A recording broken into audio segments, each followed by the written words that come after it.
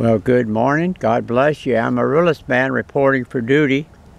You're looking at a tremendous orange hued hybrid by the name of EOS. It was produced in Holland about 1997.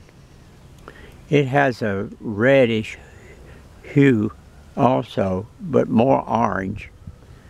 Thought you might like to see that and especially the distinct veining and the darker you get into the throat, the darker it'll be.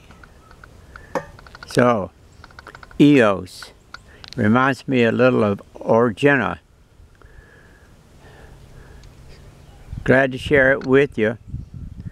We do carry seed from this plant on our Amaryllis Man site. You can come there, www.amaryllisman.com, and we'll ship them to you. Of course, we have literally dozens of amaryllis posted there on our site.